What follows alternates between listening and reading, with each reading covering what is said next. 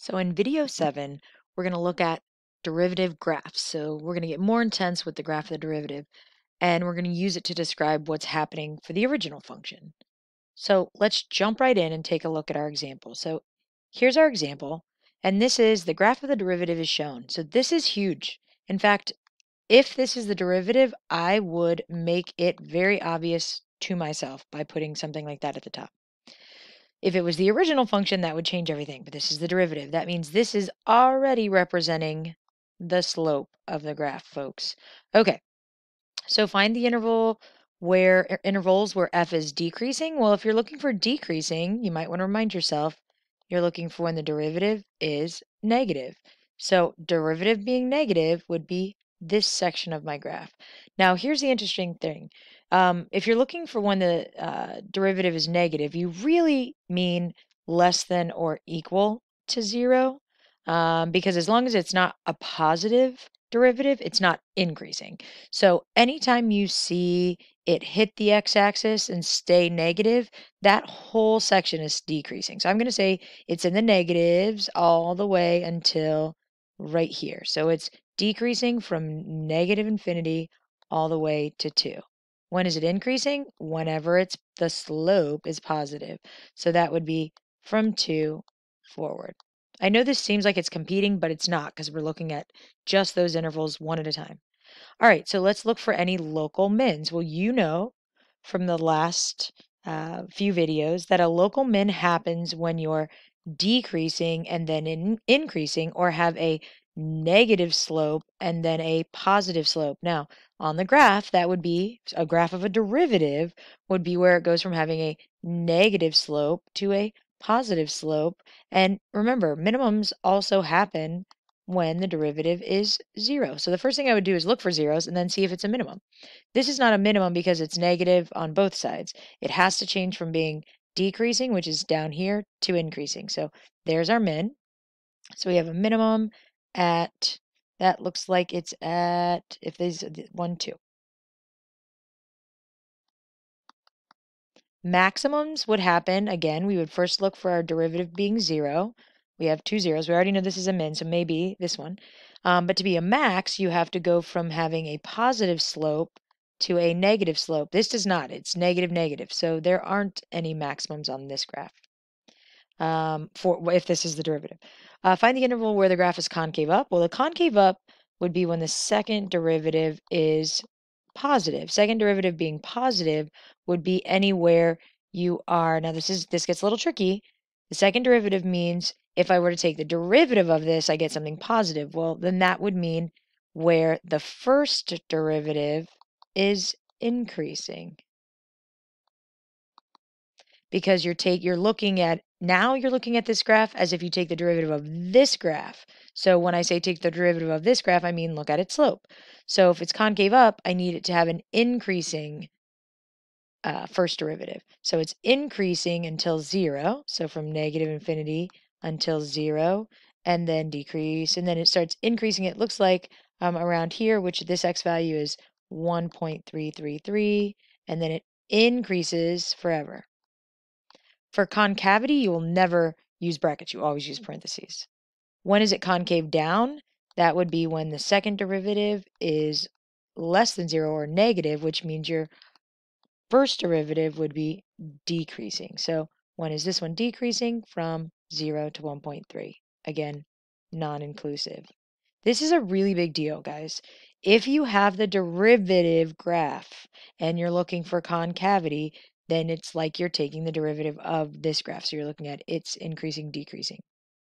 Points of inflection. Points of inflection when, is when you have a change in concavity.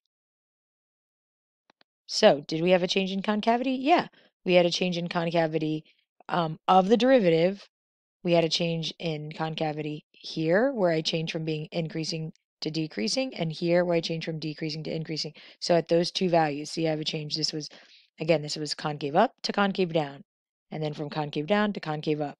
So those two x values, 0 and 1.33. That may take a couple of times watching to get. Let's try a second example and see if maybe this time you have a little bit better control. Again, this is the graph of the derivative. I would mark that for myself. That means this is already slope. Where's my increasing, or excuse me, where is where are my intervals of decreasing?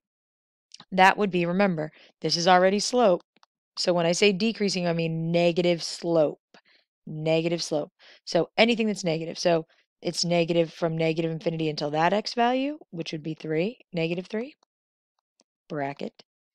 And it's also negative from here, from negative 1, and then here's okay because it stays negative and then goes to 4. So from negative 1 to 4. Okay. Increasing would be when my slope is positive, so that would be the stuff above the x-axis, so here and here. So that's from negative 3 to negative 1, and then from 4 to infinity. So do I have any local minimums or local, local maximums? Well, again, remember, local mins is when I'm a 0 for the derivative. This already is the derivative. So my potential maxes or mins are right here when the derivative is 0. And let's see.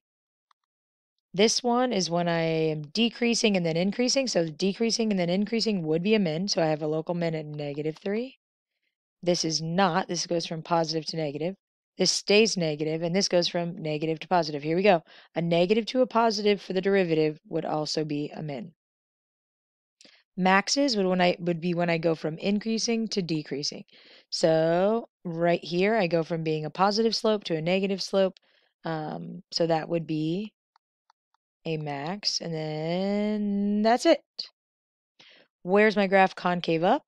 Well, concavity on the first derivative would be when the first derivative is increasing. So I'm looking for when the slope is increasing or has a positive slope. So here we go. I'm increasing until about here. I'm going to say that's about like negative 2.4. So it's concave up or increasing on the derivative from negative infinity until about maybe negative 2.4 um, parentheses. Then it decreases. Then it looks like at about zero, it starts increasing again until maybe two. Concave up here. Then it decreases, and then maybe at like 3.5, it increases to forever. Now, I'm just estimating on the negative 2.4 and the 3.5. So as long as you're close on those, that's fine. This graph isn't perfect. Uh, when is it concave down? Concave down, if you have the derivative, would be when the derivative is decreasing. So concave down from that negative 2.4 to 0. And increasing, it's decreasing also, it looks like from 2 to that 3.5.